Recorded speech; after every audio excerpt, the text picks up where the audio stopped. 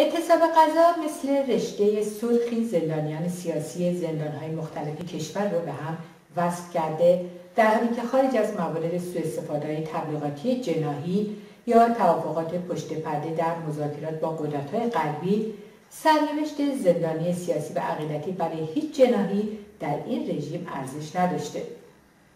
توجه شما رو جلب می‌کنم به گفتاری از رضا رئیستانا اخبار و گزارش ها از ادامه اعتصاب غذای زندانیان سیاسی در زندانهای مختلف کشور خبر میده. در مواردی مثل اعتصاب غذای فعال کارگری جعفر عظیمزاده و محمد صدیق کبودوند نگرانی نسبت به سرنوشتشون در اثر طولانی شدن اعتصاب غذا بالا گرفته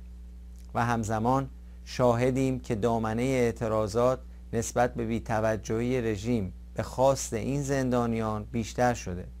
و حرکت های حمایتی صورت گرفته. شروع اعتصاب غذای خشک احسان مازندرانی روزنامه نگار زندانی پس از 20 روز اعتصاب غذای تر از روز یک شنبه گذشته در اعتراض به توهین و فحاشی یکی از مقامهای زندان و ضرب و شتم او در بیمارستان و وخامت حال رسول رضوی فعال آذری در هجدهمین روز اعتصاب غذاش در زندان مرکزی تبریز. دو خبر دیگه از اعتصاب غذاست که در این یک هفته از طرف مجامع حقوق بشری منتشر شده. در مورد رسول رضوی حکم شش ماه حبس رو که قبلا عفو مشروط داده بودند به اجرا گذاشتند و این زندانی در واکنش به این اقدام اعتصاب غذا کرده. علاوه بر این دو خبرهایی هم داشتیم در مورد اینکه زانیار و لغمان مرادی و سعید شیرزاد در همبستگی با کبودمند و سایر زندانیان اعتصابی دست به اعتصاب غذا زدند. افشین بایمانی زندانی سیاسی زندان رجای شهر هم در حمایت از اعتصابیون و اعتراض به شرایط ضد انسانی انتقالش به زندان در هفته گذشته و به دنبال سکته قلبی به اعتصاب غذا پیوست. خالد و رسول هردانی از زندان رجایی شهر هم در حمایت از وضعیت بحرانی مریم نقاش زرگران از هفته گذشته دست به اعتصاب غذا زدند. مریم نقاش زرگران زندانی عقیدتی از شش خرداد گذشته با وجود بیماری های جسمی و حملات قلبی در اعتراض به نسبت به وضعیت روند درمانش دست به اعتصاب زده.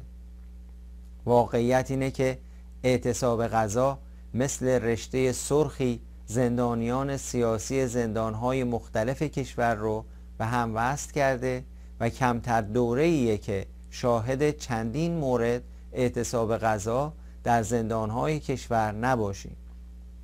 سرنوشت زندانیان سیاسی به دست بازجویان تبهکار امنیتی افتاده و دستگاه قضایی مهرهای بی اراده و آلت دست سناریوهای بازجویان در مورد زندانیان سیاسی هستند. پس از سوختن سناریو سازی های امنیتی برای زندانیان و روش های کثیف تواب سازی و واداشتن زندانیان به اعتراف علیه خود توطعه علیه زندانیان سیاسی و عقیدتی به شکنجه روانی برنامه ریزی شده برای کل دوره زندان و واداشتن زندانی سیاسی به درهم شکستن تدریجی و فروپاشی از درون یا تحمل شرایط بسیار دشوار زندان که در واقع زمینه سازی مرگ تدریجیه تبدیل شده. تجدید محاکمه زندانیان سیاسی در پایان دوره محکومیت و دادن محکومیت های تازه به خاطر واکنش های اعتراضی در طول دوره زندان و نوشتن نامه امضای بیانیه و اعلام همبستگی با سایر همبندانش جلوگیری از درمان زندانیان سیاسی بیمار و بیتوجهی به نیازهای درمانی زندانیان تا حد مرگ زندانی حجوم دوره به دوره به زندانیان سیاسی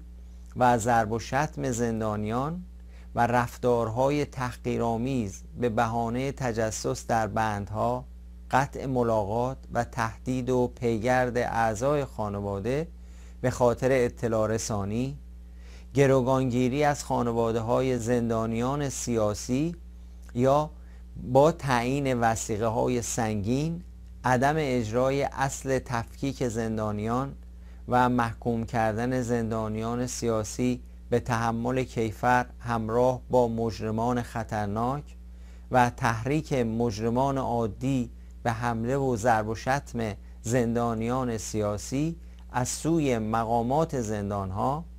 همه در راستای سیاست زشکش کردن زندانیان سیاسی صورت می‌گیره. این سیاستیه که کم و بیش در دو دهه اخیر در زندانها به اجرا گذاشته شده و کشمکش های جناهای حکومتی و رفتن یک جناح و آمدن جناح دیگر تأثیری تعیین کننده در این زمینه نداشته. حتی با توجه به انتصاب رئیس قوه قضاییه از طرف خامنه ای